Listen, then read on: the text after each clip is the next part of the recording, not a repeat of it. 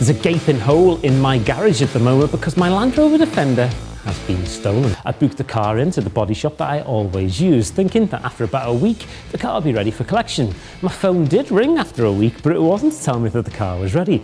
It was the poor guy from the body shop to explain that my Land Rover Defender had been stolen. The first thing anybody would do is phone the police, right? So I phoned Merseyside Police, kind of expecting that they may send the helicopter up or put the blue lights on and do all of those things that the police usually do when a car gets stolen. Now, I'm not here to bash Merseyside Police. On a whole, they do a very very good job and I know that they've got a very tough task. But in this particular instance, I was left feeling very alone and as if the police just didn't really care. I knew full well that my car was on its way to being stripped down for parts or used in some sort of master crime. I felt as though the police simply weren't interested in getting my car back and they were treating it as if it was something that the insurance company should just deal with. So I was left with no choice to really try and investigate it myself. And now I'm no detective, but with the help of a few friends, I was able to view CCTV from neighbouring buildings of, from where the car was stolen. And that ultimately led us on a little journey of where the car was taken after it had been stolen. And even better, we got a clear picture of the person driving the stolen car.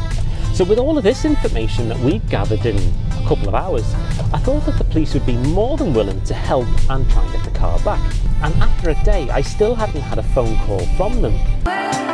Although I had a good idea where my car was and I had a very good idea who had stolen my car, I really didn't have any evidence of this because I couldn't get access, I couldn't get a copy of the CCTV, although I could watch it, the, the, the, companies that own the footage wouldn't give it to me. This is something that the police would need to request. So I basically had a lot of possible information which really needed the police to get involved with and take a proper look into and investigate.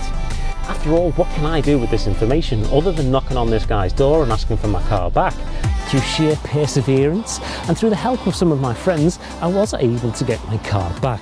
I received a call late one night to say my Defender had been dumped on the roadside and I went immediately to pick it up. I knew how lucky I was to get this car back, but when I did eventually pick it up on the roadside, it was in a bit of a sorry state. The dashboard had been completely ripped out as the thieves looking for the tracker. But overall, I was just glad to be driving this car home. And as I was driving it home in the dark with no lights and with a missing license plate and no speedometer and all those other things, there was a flurry of blue lights behind me. And in the first time in two days, this was an officer getting involved in my stolen car. The officer pulled me over and asked me why I was driving in the dark and where my license plate was and all the rest of it, and I explained the entire situation to him. Now, in the car, after I'd picked it up, there were a few bottles that weren't mine. My cars are very clean, and there were fingerprints on the sunroof, which I know weren't there before it was stolen. So I thought this officer may want to impound the car to dust it down for prints and to do all that DNA stuff that they do on the telly. And when I asked the question, the officer gave a response which pretty much summarises my entire experience of having a car stolen. He said something along the lines of, yeah, there's no point, you should be glad you got it back, which I was. But I was also very disappointed in the way in which Merseyside Police handled this, and I felt very, very let down by them. So that was a strange couple of days, and I know how lucky I am to get this car back.